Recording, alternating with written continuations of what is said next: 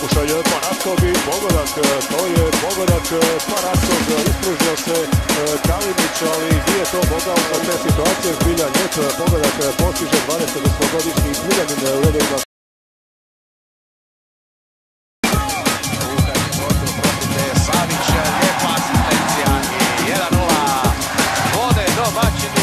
zabio